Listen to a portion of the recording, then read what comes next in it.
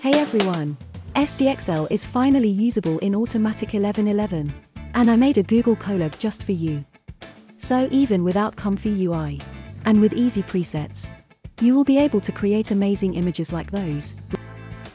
I will keep doing SD 1.5 videos, but let me know if you want to see SDXL models, like DreamShaper XL. Alright, let's dive into the Colab.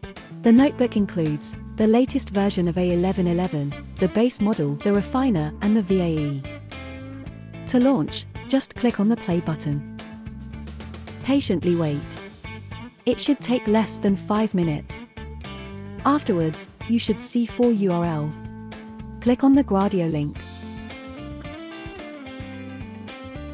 If you don't see SDXL model, don't worry. Just close the windows. Wait that it loads some line. And reopen the Gradio link.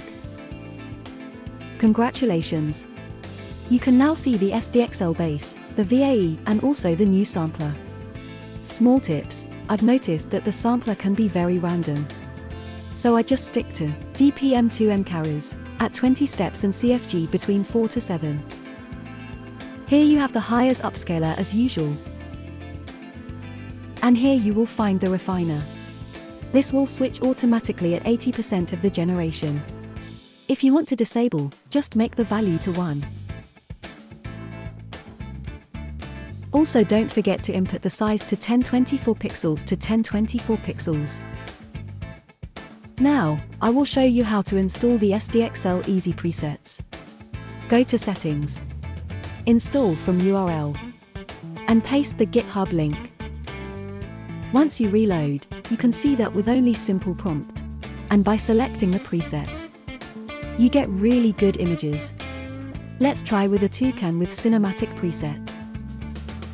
Or a cozy living room with architectural presets. Why not about a burger poster commercial? You can see that the using the generation takes between 18 and 25 seconds. If you want to have more details on the preset, check the GitHub CSV file. The preset is very similar to the Fooocus video I made, which simplify the generation. For the LoRa, if you want to try a specific LoRa, filter the LoRa SDXL and find the one you like. Be careful to copy the link from the blue button and not the page URL. Then paste it in the Colab and give the LoRa a name launch the play button to download the LoRa. Once it's done, launch the reboot section to reset the link. Click on the Gradio link. Congratulations, you can now use your downloaded LoRa.